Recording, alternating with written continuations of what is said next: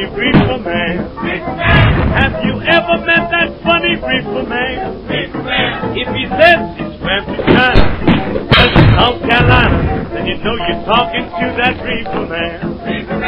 Have you ever met funny reefer man? Have you ever met funny reefer man? If he says off the ocean, anytime he takes notes, then you know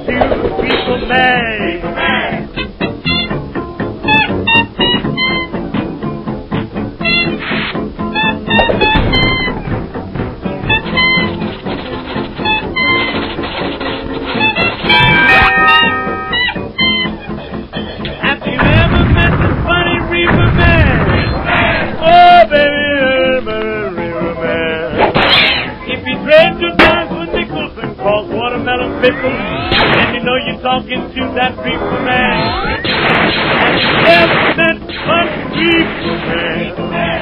Have you ever met a funny reefer man? If he takes Pennsylvania, wants to give you Pennsylvania, then you know you're talking to the reefer man. This is the 911 operator. What is your emergency?